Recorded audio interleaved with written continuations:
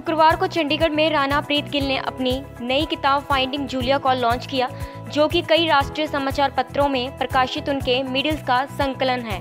ये किताब जूलिया के रूप में उनका दूसरा साहित्यिक काम है। पिछले साल उन्होंने अपनी किताब रिलीज़ की थी, जो कि लगातार बेस्ट ट्रेलर में से एक रही। राणा प्रीत गिल ने अपनी पुस्तक के बारे में जानकारी देते हुए कहा कि 31 मई 2017 को द ट्रिब्यून में मेरा पहला middle pant peeve no more प्रकाशित हुआ था। uh, मेरी बुक फाइंडिंग जूलिया है। uh, मेरे पब्लिश्ड पीसेस uh, की एक कलेक्शन जो मेरे पीसेस पब्लिश हुए हैं middles in the Tribune H T daily post the new Indian express Deccan herald Hitavada और वोमेन ज़ीरा मैंने, मेरा फ़र्स्ट मेडल जो है ट्वेंटी सेवनटीन में पब्लिश हुआ था द ट्रिब्यून में. उसके बाद मैंने लिखना जारी रखा.